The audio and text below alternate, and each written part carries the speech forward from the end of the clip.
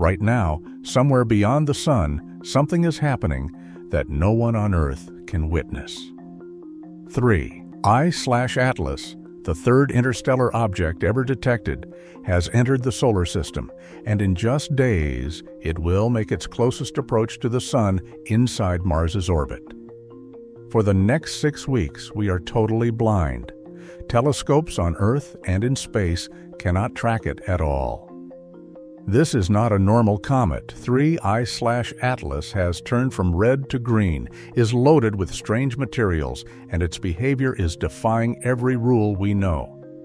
So when October 29th arrives, will this interstellar visitor quietly move on, or will its encounter with the Sun shatter everything we thought we understood about objects from beyond our solar system? The stakes start now.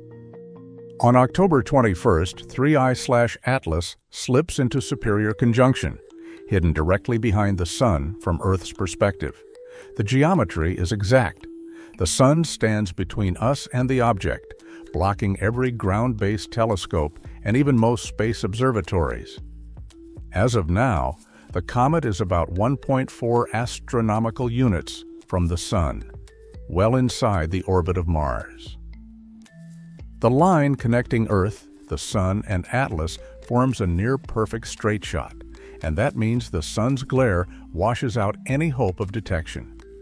Even the most sensitive instruments, Hubble, JWST, the Very Large Telescope, are forced to stand down.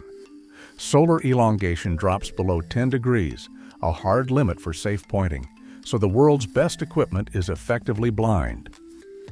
This isn't just a technical inconvenience. For the next six weeks, every potential outburst, fragmentation, or brightness spike from 3i slash Atlas happens with no one watching. The only hope for a glimpse comes from solar coronagraphs like SOHO's LASCO C3, but with a limiting magnitude of 7 or 8, and Atlas predicted at magnitude 12, even these fallback options are out of reach. The object could flare dramatically, or it could fade into the background. No one will know until late November when the geometry finally shifts and the comet emerges from behind the Sun. Until then, the Solar System's third interstellar visitor is on the far side of the Sun, and for the first time since its discovery, all eyes on Earth are forced to look away. 3I-Atlas was first detected by the Atlas survey team in Chile on July 1, 2025, with a handful of earlier images traced back to mid-June.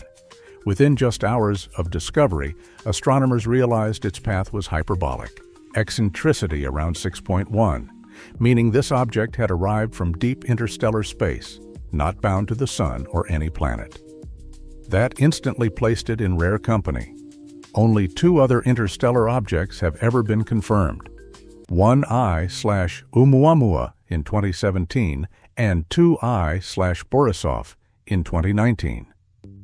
Unlike Oumuamua, which slipped by before anyone could see it up close, 3I slash Atlas was spotted well before perihelion, giving scientists a front row seat to its inbound journey. The team behind Atlas joined by researchers from ZTF and ground-based observatories, worked around the clock to confirm the trajectory. Chat logs and scheduling records show a scramble for telescope time. Every major instrument from JWST to VLT saw urgent requests, sometimes sparking tense debates over who would get the first look. The stakes were high. A third interstellar visitor, inbound and still brightening, with the promise of revealing chemistry from another star system.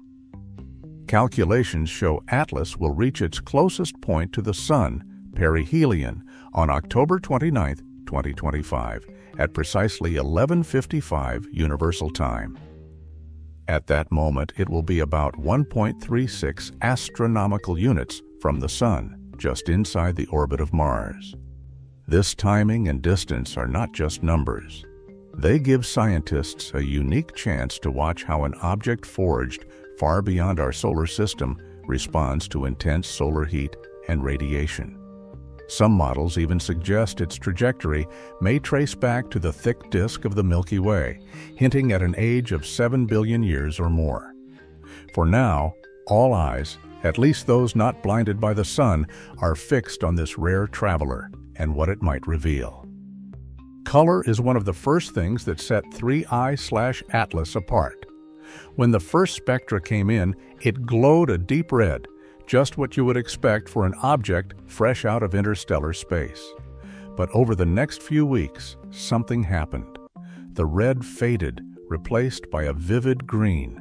Normally, green in a comet's coma means diatomic carbon, excited by sunlight. Except repeated scans from VLT and Keck found almost no C2 at all. The lead spectroscopist, Dr. Elena Morales, flagged it in her notes. Green emission, but C2 bands absent. Source unknown. The chemistry only gets stranger. Most comets are rich in water vapor, with carbon dioxide as a minor player. Here, CO2 dominates, nearly 20 times more than H2O. Even the nickel to iron ratio is upside down. Atomic nickel lines show up strong, but iron is missing, a pattern that does not match any natural comet seen before. Morales' team tracked the nickel signal rising as Atlas approached the Sun, but iron lines stayed flat, buried in noise. In laboratory simulations, nothing in the usual comet recipes could reproduce this selective metal vaporization. Then there is the way light bounces off the dust. When sunlight hits the coma, the scattered light dims instead of brightening, an effect called negative polarization. It is the most extreme ever measured. Classical models cannot explain it. And the tail, instead of streaming away from the sun, sometimes points back toward it, as if the solar wind is bending in reverse. Every textbook on comet physics says this should not be possible. Yet here it is, clear as day in the data. For the observing teams, these optical oddities are not just quirks. They are a direct challenge to everything we thought we knew about how comets behave. Inside the lab, the search for answers takes a different path. Teams have been trying to recreate Atlas's green glow and its extreme polarization using every trick in the book, vacuum chambers, high-powered lasers, even rare nickel compounds. But so far, every experiment falls short. The closest any group has come is a faint tint, never the vivid emerald seen in the comet's coma. Dr. Shirin Patel, who leads a plasma modeling group, admits, we can't get the dust to scatter light the same way, no matter how we tweak the chemistry. It's like the rules are different out there. On the observational front, the limits are just as stubborn. Solar coronagraphs like SOHO's LASCO C3 are designed to spot comets grazing the Sun, but only if they're bright enough. Atlas at magnitude 12 is simply too faint. The threshold for a clear detection is about magnitude 8.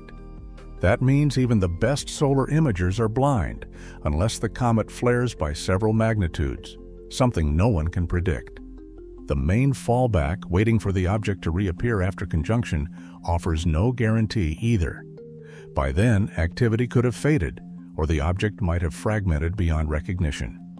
Mainstream astronomers, meanwhile, urge caution. Dr. Eric Lavoie, a veteran of comet surveys, puts it plainly.